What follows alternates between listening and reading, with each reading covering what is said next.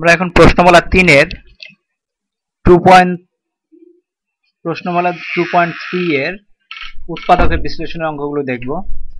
তো এই অঙ্কগুলো খুব সহজ, কিন্তু প্র্যাকটিস করতে হবে। তো এইখানে আমরা একটা অঙ্ক দেখি।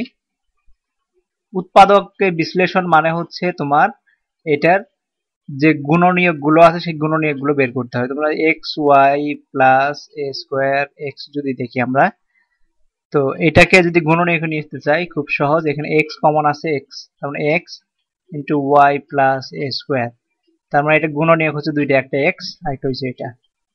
তো এটাই হচ্ছে তোমার উৎপাদকে বিশ্লেষণ। তারপরে ধরো, সাত নাম্বারটা যদি ধরি four A B minus ten B C plus four A B minus ten C D তো তোমাকে সবসময় চিন্তা করতে উৎপাদক বিশ্লেষণের জন্য সবচাইতে জরুরি যে ফর্মুলাটা সেটা হচ্ছে A plus B into A minus B সমান A square plus B square A square minus B square তো এই এই ফর্মুলাটা সবচেয়ে জরুরি। তো তো আর তোমার দেখতে হবে এ প্লাস বি হোল স্কোয়ারটাও কখনো কাজে দেয় কিনা সেটাও দেখতে হবে, দেখে তোমাদেরকে সেভাবে বের করে নিয়ে আসতে হবে। তো এইখান থেকে দেখো উৎপাদক বিশ্লেষণ করতে চাই এটাকে। এটা A B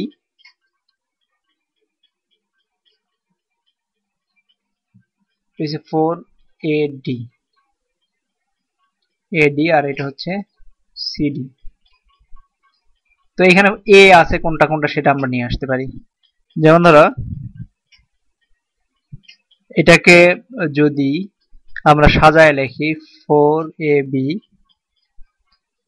plus four A D কারণ এখানে এ আছে common minus ten B C minus ten C D তো এখানে সি আছে কমন তো যেহেতু এ এ কমন আছে, এখানে বি আর ডি নাই, অথবা এ সিও নিয়ে আসতে পারতাম আমরা বি আর বি আর সি এটাও নিয়ে আসতে পারতাম। তো আমরা নিয়ে আসছি এইভাবে, তাহলে এখানে ফোর এ কমন নিলে B plus D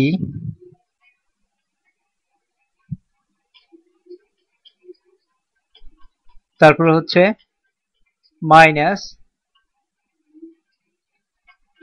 ten C common নিলে বি প্লাস ডি হয়ে যাচ্ছে। তো এইখান থেকে আমরা তাহলে লিখতে পারি, এইটা আবার সবগুলোর মধ্যে common B plus D B plus D এটা কমন এটা কমন নিলে আমাদের হয়ে যাচ্ছে এখন এই দুইটা থেকে এই দুইটা কমন নিলাম। Four a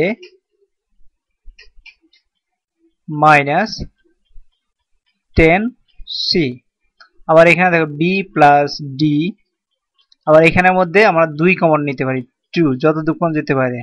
তার মানে হচ্ছে two a minus five c তার মানে হচ্ছে two into b plus d into two a minus five c এটাই হচ্ছে উৎপাদক, একটা উৎপাদক, এই একটা উৎপাদক, এই একটা উৎপাদক। উৎপাদক বিশ্লেষণ হয়ে গেল। তো এখন আমরা একটা অঙ্ক দেখি। পনেরো নাম্বার। দেয়া আছে p square p square minus one nine. তার মানে হচ্ছে এটাকে আর এটাকে বি যদি ধরি, পি স্কোয়ার, কেমন লিখি p square minus one three square minus p plus one three into p minus one three তো এই একটা উৎপাদক একটা উৎপাদক হয়ে গেছে। উৎপাদক হচ্ছে, তোমরা যেরকম আগে গুণনীয়ক বের করছ বীজগণিত রাশিমালা গুণনীয়ক গুলোকে উৎপাদক বলে। তারপরে আমরা একটা অঙ্ক দেখি, উনত্রিশ নাম্বার। টোয়েন্টি নাইন উনত্রিশ নম্বর অঙ্কটাকে দেখা আছে। Twenty nine x square plus eleven x plus thirty তো আমাকে দেখা যাচ্ছে যে এটা এক্সের কোন একটা ফর্মুলায় পড়বে। X square a plus b whole square ফর্মুলায় পড়বে। তার মানে এক্স স্কোয়ার প্লাস এগারোকে আমরা কীভাবে নিতে পারি? টু আছে। টু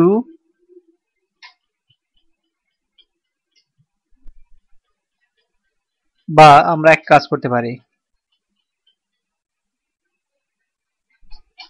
এগারোকে আমরা এইভাবে লিখতে পারি। কারণ আমরা সবসময় দেখব এইটা আর এইটাকে মিলানো যায় কিনা। তার মানে five x plus six x মানে এগারো x plus five into six তার মানে এটাকে আমরা কমন নিতে পারি x plus five plus six common নিতে পারি এক্স প্লাস ফাইভ তার মানে হচ্ছে x plus five into x plus six এটা হচ্ছে তোমাদের উৎপাদকের বিশ্লেষণ। তো এইভাবে অন্যান্য অঙ্কগুলো করবা, সবসময় চিন্তা করবা কোনো একটা ফর্মুলায় ফেলানো যায় কিনা। যদি ফর্মুলায় ফেলানো যায় ফর্মুলার দুইটা ফর্মুলা হবে, একটা এই এরকম ফর্মুলা হবে স্কোয়ার মাইনাস বি স্কোয়ার খুঁজে দেখবা আছে কিনা।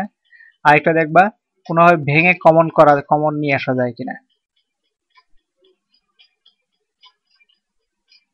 তো এরকম এরকম যে এরকম ধরো, লাস্টের যে সংখ্যাটা থাকে, সেই সংখ্যাটাকে যদি উৎপাদকে বিশ্লেষণ করে দেখা যায় মাঝের অঙ্ক অঙ্কটাকে পাওয়া যায়, যেমন তিরিশের উৎপাদক হচ্ছে ফাইভ ইন্টু সিক্স মানে ফাইভ আর সিক্স যোগ করলে ইলেভেন ঠিকই ফিফটি সিক্সের মধ্যে যদি দেখো ফিফটি সিক্সকে কীভাবে লেখা যায়?